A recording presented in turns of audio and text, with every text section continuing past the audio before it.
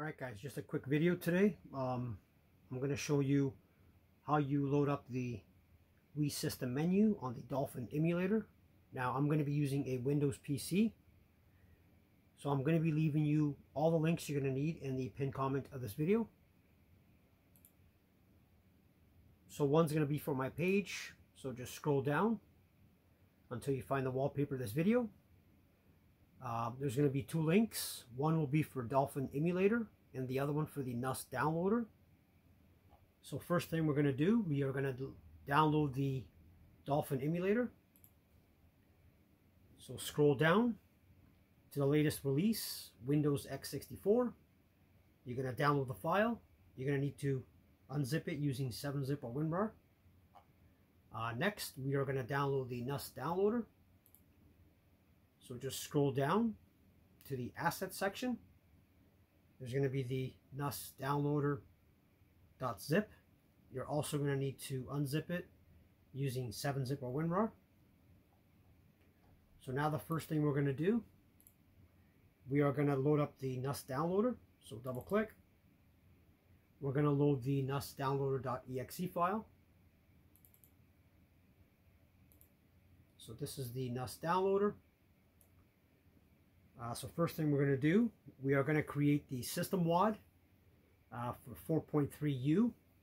Now this is going to work uh, for different regions, so it's up to you whatever region you want to download.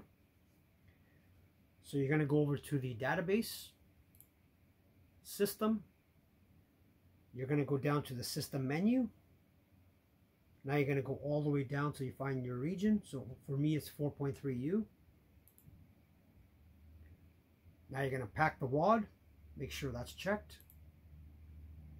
Now all you got to do is start NUS download. And it should create the WAD channel for you. So there you go. That's done. Now we can minimize this window. Now we're going to run the Dolphin emulator. So dolphin.exe file. So the first thing we're going to do we are going to install the system menu WAD. So go over to the tool section, install WAD. Uh, you're going to find your WAD. So for me, it's desktop, NUS downloader, under titles. And there's a system WAD. So go to open.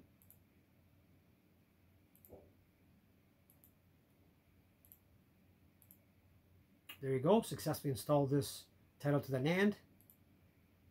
So last thing we need to do, go over to tools. We are gonna load Wii System menu.